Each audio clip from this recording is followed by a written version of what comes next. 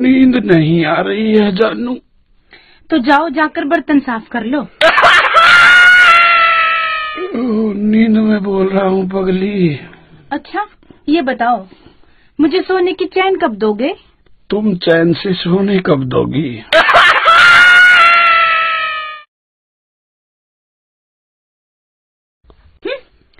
मैं तुम्हें जो भी कहती हूँ तुम मेरे कान से सुन के दूसरे कान से क्यों निकाल देते हो? और मैं तुमसे जो कुछ भी कहता हूँ दोनों कानों से सुन के मुँह में से निकाल देती हो। अच्छा नु बताओ। वो कौन सी चीज़ है जो तुम रोज तो देख सकते हो पर तोड़ नहीं सकते? मैं नहीं बताऊँगा। बोलो ना प्लीज़ तेरा मुँह। के क्या कुछ नहीं। अच्छा चलो नू बताओ। थमने में कितनी अच्छी लागू सुन? बहुत ज़्यादा। फिर भी बताओ ना कितनी। इतनी के दिल करता है तेरे जैसी एक और ले आऊँ।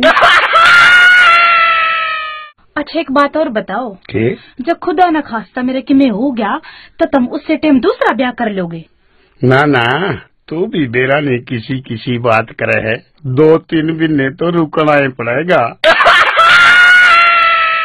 एक बात बताऊँ जानू? के?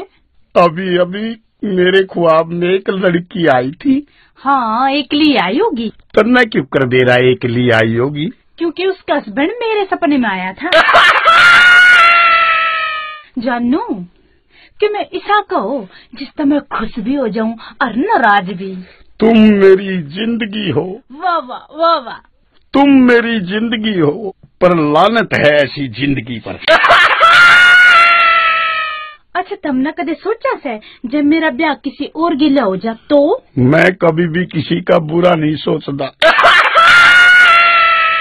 मैं तो हर रोज जब मेरी आँख खुले है तो भगवान तो यो प्रार्थना करूँ। हे भगवान सबको तुम्हारे जैसी पत्नी दे। हैं अच्छा तुमने मैं इतनी अच्छी लगू सू हाँ आखिर मैं अकेला इतना दुखी क्यों रहूँ? अच्छा एक बात बता। के? जब कोई औरत तना फ्लाइंग किस करे तो तन किसा फील होगा?